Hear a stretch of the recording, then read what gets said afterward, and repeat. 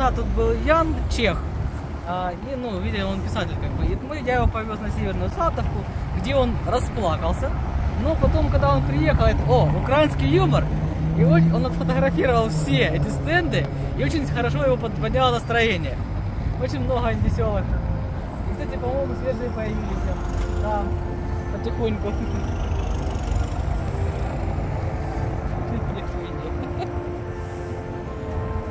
Так, вот наш намет для перемоги, который при попадании Искандера, он, скажем так, пострадал, считаю, в хлам.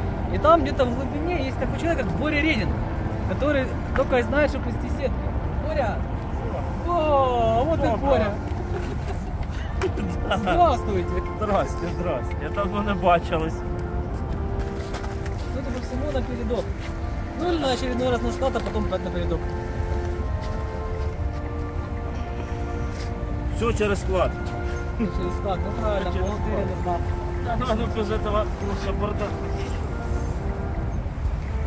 Скільки ти вже сіточки відгрузив? Ну теж 20 точно. О, Квадратних метрів мається на увазі. Ага.